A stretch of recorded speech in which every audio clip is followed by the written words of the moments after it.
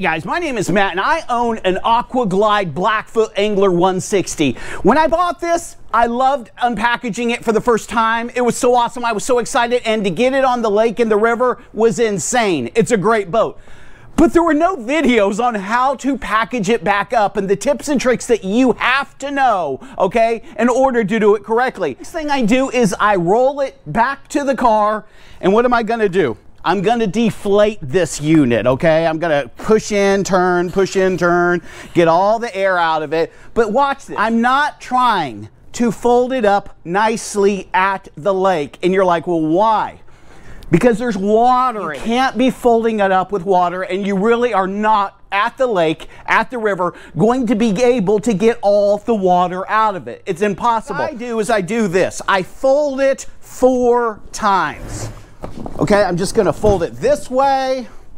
I might do this, I might not. I'm gonna fold it this way. And what am I doing? I'm just getting the air out of it, okay? I'm gonna fold it this way.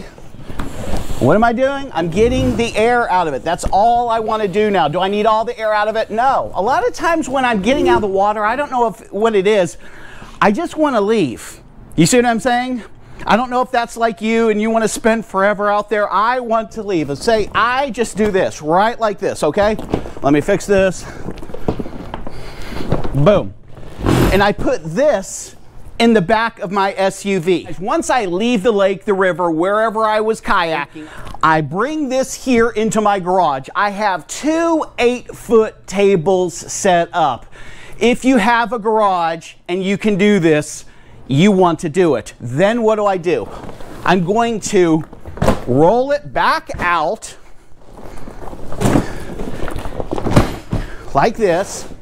I'm going to take the liner that's right here and I'm going to put it up here. See that that's the that's that drop floor. I'm taking the drop floor out. Why do I want to do that?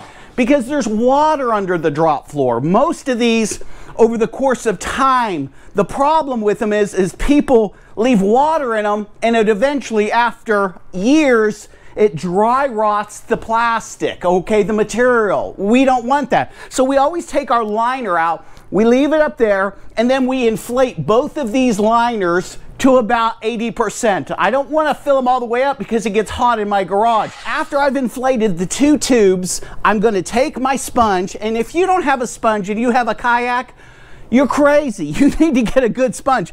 And I'm just going to get the excess of water out. I'm going to wring it out. I'm going to go up and down. I'm going to kind of inspect the boat. And that's what I'm going to do. And then I'm going to leave this boat in here for 24 hours. On I'm all gonna... inflatable kayaks, there's this corner right here where they've hooked the stitching together, where they're putting the floor and the sides together and the baffles. This is where the water likes to stay. This is why you have to inflate those to about 80% again, leave it, and then take your sponge, get the water out, and then try as much as you can to get this in the corner all the way around the boat and leave it. Allow it to dry naturally. Then you can come back the next day and you can inspect your boat. to folding the Blackfoot or any inflatable kayak, one of the things that the manufacturer will not tell you, if they have molly mounts, it makes it more difficult to fold it up. Understand this. When we first got the Blackfoot, we were so excited and we wanted to just, you know, rig this thing out with double cameras and fishing gear and cup holders. And here's the thing. I would say you can do all of that, but you have to realize it makes it harder to fold it and harder to put it into the bag. Almost impossible. I would say this, wherever you're going to all the time use the mounts, that's where you want to put your molly brackets. Do you understand? Like this. We have a Scotty here. They have Yak Attack. We put one here. We actually put one everywhere. We put them all, uh, we filled this boat with as many Scotty amounts. So when we were on the water, we could move the cameras, we could move our fishing poles, we could move our cups, you know what I'm saying? All of that stuff. And we found out it was just like insanely hard to fold it back up. So now we only have the mounts on the front and the back, and whenever we need them, it's very simple to go ahead and put them on there. Start in the middle because they have the handles, okay? And I want to start to fold this side in. And if you have help like a wife or a, uh, a, son or something, it makes it that much easier. But basically, you're just straightening it out. You're making sure there's no creases in it. You know, I don't want to fold it with gigantic creases. So I'll start with this side, kind of get a feel for it. This is looking good. And then I'm going to go to this side.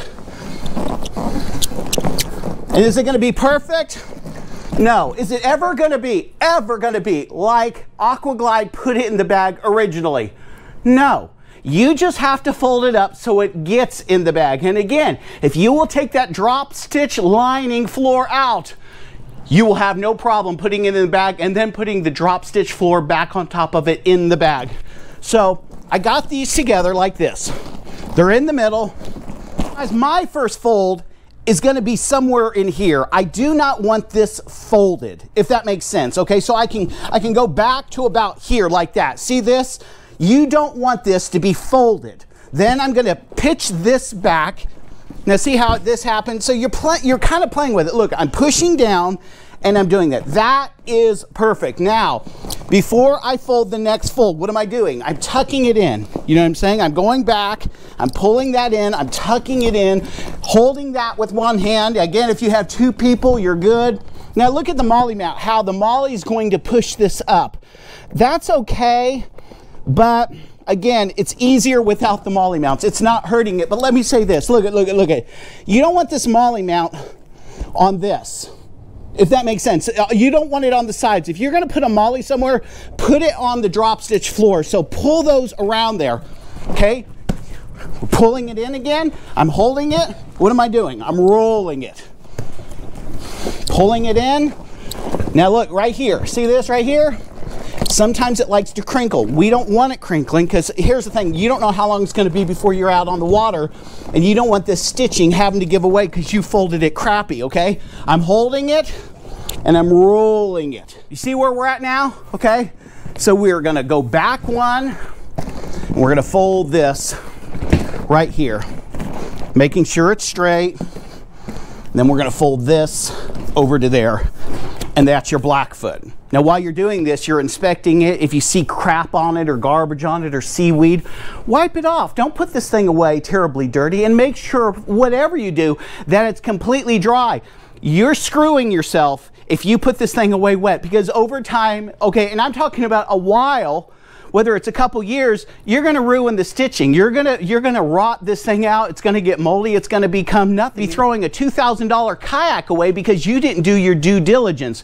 When I go to garage sales, one of the things that I see is used kayaks, but they're oftentimes the kind that have the material on them. You know what they did? They got out of the creek, they got out of the river, they got out of the lake, they folded it up, jammed it in the bag, and then they left it there till the next time that they went kayaking. And what happened? Black mold.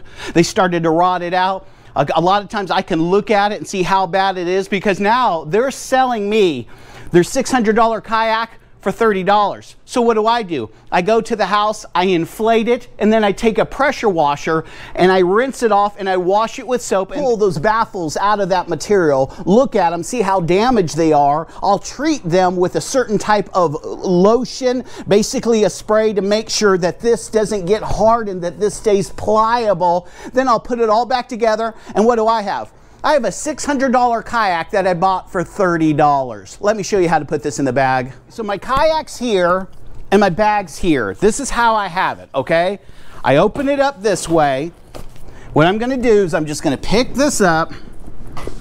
I'm gonna put it there. I'm gonna pull over the sides in a little bit. Sometimes you have to tuck it in. And here's the problem. A lot of times, here, let me just tell you the problem.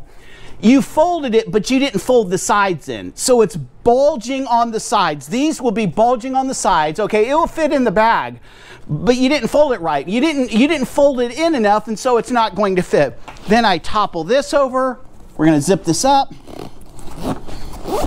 And again, if you have help, my wife always helps me do this. Oh my goodness, is she a godsend of a woman.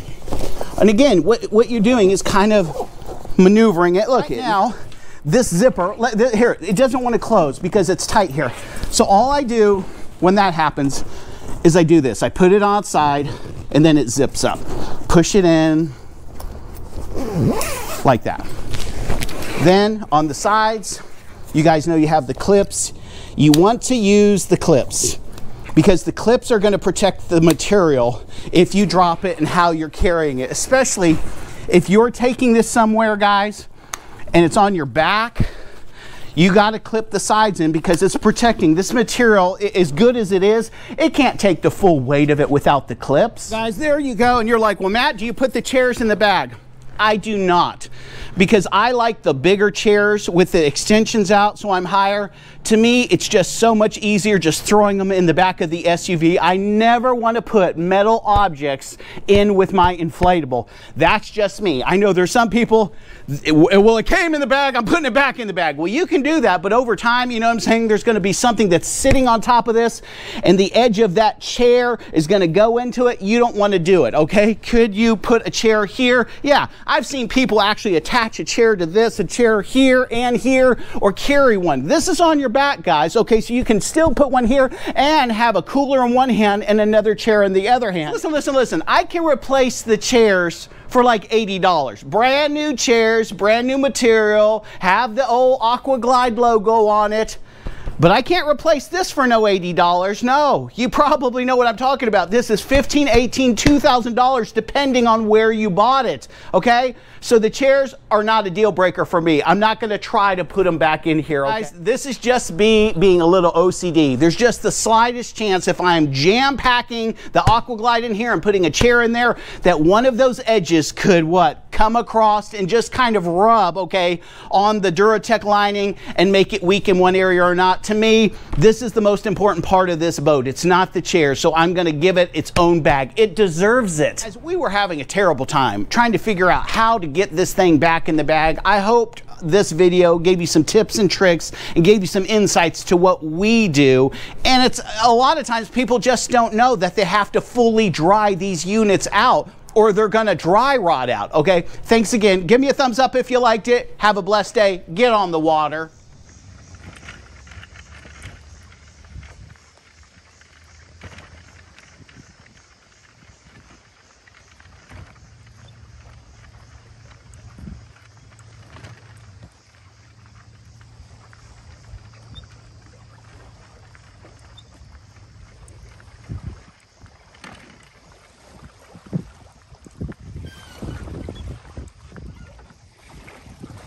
You know, one of the differences I can tell about this lake is it smells salty, which is kind of crazy. It smells like seawater.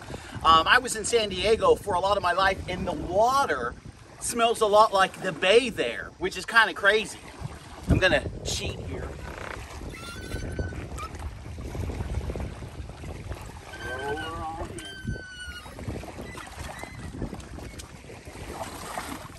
Take my C-Tug wheels off.